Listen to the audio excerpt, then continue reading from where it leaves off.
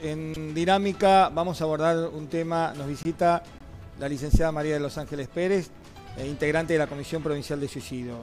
Vamos a abordar un tema realmente muy problemático, muy conflictivo, lo hemos, lo hemos este, hablado en la apertura del programa y ahora lo vamos a, continuar con más detalles con la licenciada Pérez. Me da mucho gusto saludar a la licenciada. ¿Cómo Igualmente, gracias Raúl por el espacio. Bueno, eh, con relación a este tema, ustedes han tenido la semana pasada una jornada realmente muy interesante, donde los ha visitado un profesional de Mendoza, este, un tanatólogo que explicaba más o menos este, cómo se aborda este tema en otros lugares, ¿no? Exactamente. Sí, es un tema sensible, es un tema de la salud pública. Eh, nos venimos ocupando en la provincia hace muchos años de, esto, no es eh, para nosotros no es nuevo eh, poner la mirada sobre esta problemática y bueno necesitamos que se comprometan más actores sociales porque si bien es un tema de salud no es solamente eh, el abordaje, eh, le atañe a la salud pública, también debe involucrar a otros sectores como educación, eh, justicia, medios de comunicación, sí, por eso, bueno, la importancia de este espacio también para nosotros. Bueno, ¿y cuáles fueron las conclusiones de ese encuentro? Bueno, las conclusiones por la, digamos, el feedback o la devolución de los asistentes han sido muy buenas, ha sido un espacio de intercambio. muchos gabinetistas nos han referido que se han ido con ideas para trabajar. Eh, lo importante es tomar conciencia de que todos como miembros de la comunidad tenemos un grado de responsabilidad en esto y que podemos hacer algo para la prevención, para la promoción de la salud y sobre todo para la detección temprana y acercar por ahí o acompañar a una persona que está vulnerable a una consulta, a un tratamiento. Así que ha sido un saldo más que positivo y bueno, seguimos en las batallas cotidianas. ¿Y qué es lo que se puede hacer, eh, licenciada, desde la Comisión Provincial de Suicidio? ¿Cómo trabajan, cómo actúan, cómo abordan un tema ante la posibilidad de un caso, de, un caso así de suicidio? Y hay estrategias que son más macro, que son estrategias para toda la comunidad, eh, como por ejemplo advertir señales de alerta, tomar estos espacios que los medios de comunicación nos brindan, informar, sensibilizar comunitariamente, que este tema esté puesto en la boca de los sanjuaninos para nosotros es fundamental porque no se hablaba, porque era un tema tabú, porque mientras más se oculta, eh, más se niega y menos se ocupa, ¿no? Uno, entonces, bueno, poder ponerlo en la agenda pública y de las políticas públicas de la provincia ya es parte de las acciones de prevención.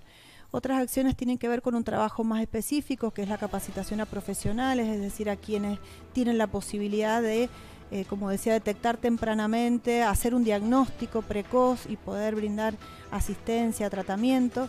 También trabajamos con los dolientes o afectados, eh, los allegados directos de una pérdida de un, ser querido por suicidio que entendemos se, se, convierten en grupo de riesgo, entonces también se hace prevención, dando la contención oportuna, eh, pudiendo también detectar quiénes de esos allegados, no todos van a necesitar tratamiento psicológico o psiquiátrico, pero eventualmente algunas personas sí, eso también es prevención y bueno, y fundamentalmente el abordaje de la atención en crisis, ¿no? de la persona en crisis con intencionalidad suicida, que se brinda en todos los centros de salud y hospitales de la provincia, a través de las guardias también.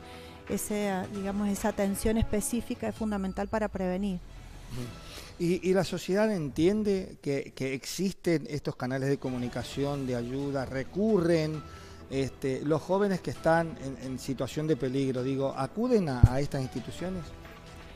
Cuesta mucho que la población adolescente se acerque a un centro de salud porque suele ser una población sana, ¿no? Eh, por eso la importancia de articular con los gabinetes y con las escuelas, porque ahí es, digamos, un, espacio institucional donde hay muchos pares de ojos atentos que acompañan a los chicos cotidianamente y que transcurren muchas horas con ellos, además de los recursos de los gabinetes que están especializados. Entonces, bueno, se puede desde esos lugares, ¿no? desde esa mirada. ¿Y qué puede llevar a un joven? ¿Cuáles son los motivos? Porque siempre lo preguntamos a esto. este, y, uno no entiende este, en, la flor de la vida, en la adolescencia, por ejemplo, qué es lo que puede llevar a una persona a quitarse la vida. ¿Cuál es el análisis que ustedes tienen? ¿Cuál es la mirada en virtud de, de los hechos que tratan todos los días? Bien. Y eh, las razones son, son plurales, son heterogéneas y son muchas. Siempre decimos que no es que haya una causa A que provoque un efecto B, nunca es simple, nunca es lineal, sino que hay un entramado complejo que subyace a, cada una de estas conductas, siempre explicados en, historias de vida, ¿no? que son únicas y distintas. Mm. Como todos los procesos de salud-enfermedad, involucran variables psicológicas, biológicas, sociales, ambientales, culturales, es decir, que en, digamos, en el origen siempre vamos a encontrar una multiplicidad de factores. Por ejemplo, predisponentes genéticos hereditarios, eh, no linealmente, no, no porque el abuelo tuvo depresión, el hijo y el papá van a tener depresión, no necesariamente, pero a veces hay una predisposición genética a ciertos trastornos mentales que puede ser el terreno fértil para, ¿sí? Otras variables adquiridas, estas son heredadas, ¿no? pero hay otras que se, se van moldeando en las convivencias, que tienen que ver con, con las relaciones intrafamiliares, con lo que transita o la dinámica dentro de, de un entorno familiar. Suele haber en estos entramados familiares disfuncionalidad, dificultades comunicacionales, eh, eh, faltas o pobreza en los recursos o habilidades sociales para decir acerca de lo que se siente, de expresar los afectos, falta de escucha, falta de contención y a veces situaciones más graves como las violencias en sus distintas formas, el abuso, eh, trastornos mentales en uno o varios miembros del grupo familiar, consumo de sustancias o abuso de alcohol, todo eso en lo que tiene que ver con las relaciones ¿no? dentro del grupo familiar. Y si además esto lo ampliamos a otras instituciones y el joven quizás sufre, eh, no sé, bullying en la escuela o no, o no, está integrado en su grupo de pares, no tiene otros espacios saludables como puede ser una, un espacio deportivo, un espacio artístico de desarrollo, una contención en una iglesia, en algún espacio religioso, todas esas, digamos, carencias en lo que tiene que ver con entornos de apoyo y saludables o disfuncionalidad en las relaciones hacen que el terreno se abone para que estas ideas aparezcan, ¿no? Sobre todo si, colapsan los recursos de apoyo. Si un adolescente o un joven no tiene a quién recurrir, si no tiene un adulto, siempre apelamos a la figura del adulto de confianza que no siempre puede ser la mamá o el papá, porque a veces es ahí donde está, el problema. está justamente el quiebre entonces pensamos en otras alternativas y volvemos a la institución educativa, puede ser el preceptor, puede ser el, profe piola que los chicos siempre tienen, puede ser la madrina, puede ser una tía, ¿sí? Pero siempre tratamos de que los chicos puedan hablar de lo que les pasa, de lo que sienten, con algún adulto que no juzgue, que no señale, que pueda acompañar, que pueda escuchar y que de hacer falta la atención psicológica o eh, psicofarmacológica pueda direccionar o acompañar mm. una consulta oportuna. ¿La depresión siempre está presente? No necesariamente. Eh, a veces hablamos también de otros trastornos mentales, el trastorno bipolar, la esquizofrenia, son cuadros clínicos donde esto es frecuente. Lo que llamamos comorbilidad, que es la presentación clínica de un trastorno, por ejemplo, un trastorno del ánimo con adicciones, por ejemplo, esa presentación conjunta de dos eh, situaciones psicopatológicas lo hace más difícil. Eh, y otras veces, dice la Organización Mundial de la Salud, que el 90% de los casos va a tener que ver con trastornos mentales, evidenciados o no, pero va a haber un 10% de casos que no va a tener ningún diagnóstico. Eh, por eso apuntamos a que esto se da en el contexto de crisis vitales. Y crisis vitales tenemos todos los seres humanos. Y eso es lo que, digamos, puede poner potencialmente a, cualquiera de nosotros en una situación eh, difícil, ¿no? de sentir que que la vida no tiene sentido, de sentir que no se quiere seguir viviendo de la forma en la que se está viviendo. Y esto, bueno, le puede pasar a alguien que tenga una depresión o un cuadro clínico o no.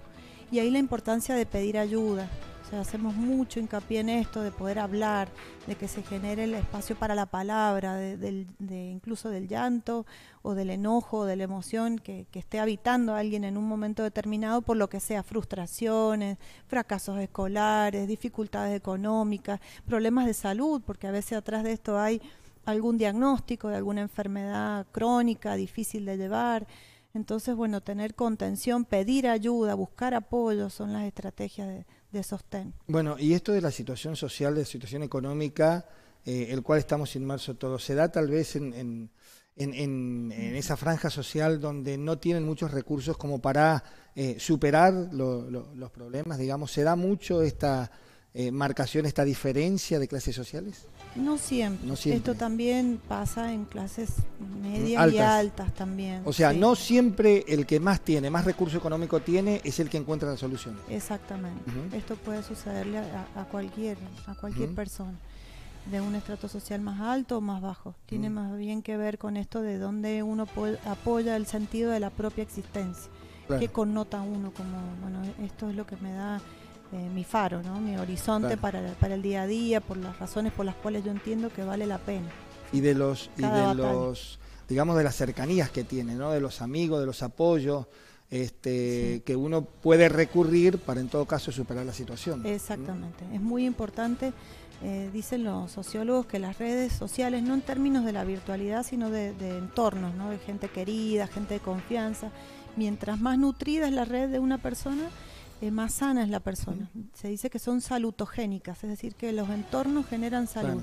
Mientras o sea, generan alerta generan salud. Mientras yo más contenido esté, mientras yo tenga mi grupo para el fútbol, pero tengo el amigo, el primero que llamo cuando me pasa algo.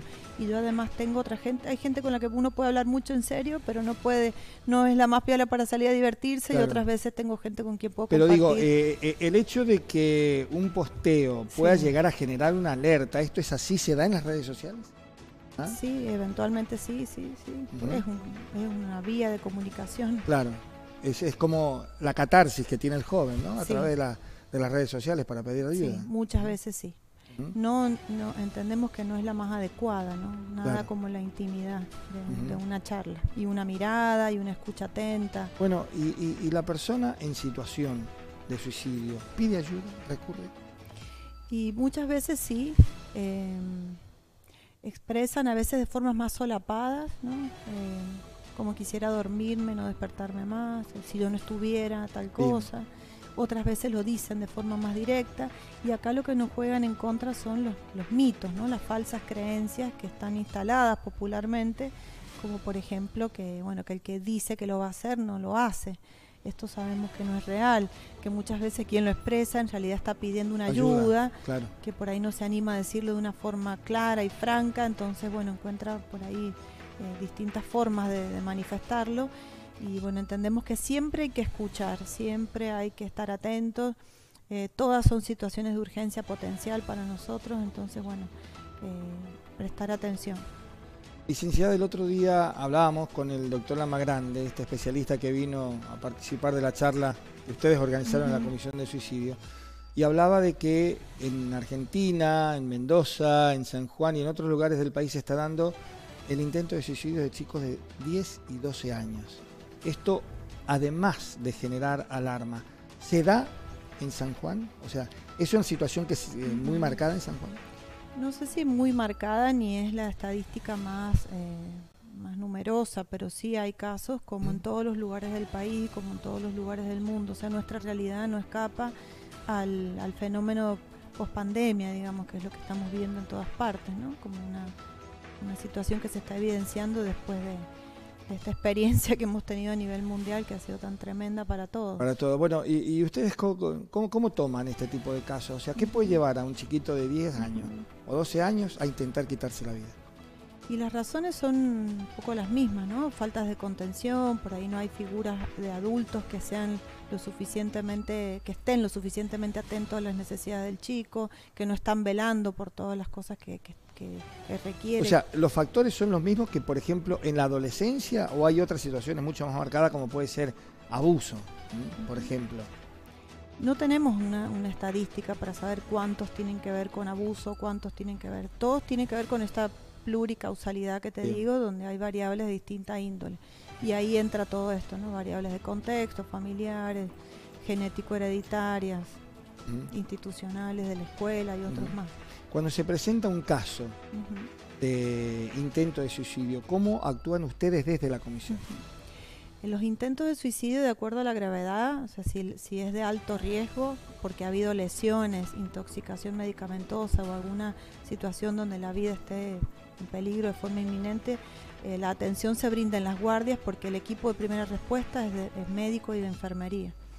Ahí lo que nosotros hacemos es, eh, bueno, por supuesto se aborda ¿no? con el equipo pertinente y preparado, eh, poder llamar al equipo de salud mental para comprometer la atención y la contención durante la internación y el alta. Luego nosotros hacemos localmente ¿sí? Cada persona, de acuerdo a su domicilio, recibe, en estos casos, la visita de un equipo psicosocial que pertenece al centro de salud más cercano al domicilio. Para ofrecer el turno, para ofrecer el servicio de salud mental de, la comunidad, de manera de brindar, de acuerdo a un criterio que es la accesibilidad, ese es el criterio de la atención primaria de la salud, es decir, que le quede lo más cerquita posible para que la persona no tenga que gastar en transporte, pueda llegar caminando, le quede a la mano. Y a partir de ahí hacemos el seguimiento y los tratamientos. Entonces, bueno, si es de, esto sí es de alto riesgo, si es de mediano o bajo riesgo, debe acercarse al centro de salud o al hospital más cercano a su domicilio, insisto en esto que este es el criterio, y expresarle al profesional de salud mental el motivo de consulta para que haga priorización de los turnos, si no nuestras agendas suelen estar muy abultadas. Entonces, advirtiéndole al profesional, el profesional tiene, tenemos turnos protegidos y debería recibir la atención en 24, lo sumo 48 horas. ¿Y en casos consumados ustedes trabajan también con los familiares? Trabajamos, sí, con las familias, con los, con los distintos grupos humanos a los que ha pertenecido la persona fallecida. Si se trata de algún alumno, trabajamos con instituciones educativas, con compañeros de curso, con compañeros de otros cursos, con equipos docentes.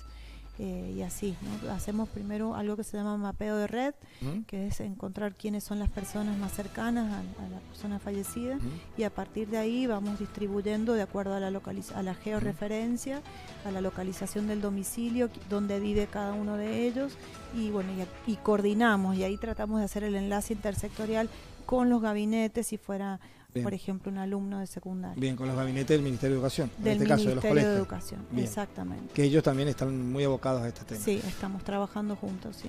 Licenciada, ha sido un gusto este, recibirla, charlar con usted de una problemática que nos entristece, nos preocupa, nos llena de signos de pregunta, porque uno quisiera tener todas las soluciones como para que aquel joven que en estos momentos está viendo el programa diga bueno, este, eh, tengo donde recurrir, tengo donde ir, que ese es el objetivo de todos nosotros, ustedes en el trabajo que hacen y nosotros en la función de, comunicar. Así que le agradecemos, licenciada. No, gracias a vos por el espacio que para nosotros es fundamental. Muchas gracias. La licenciada María de los Ángeles Pérez, de la Comisión Provincial de Suicidio, en diálogo con Dinámica. José González, adelante usted, por favor. Muy bien, seguimos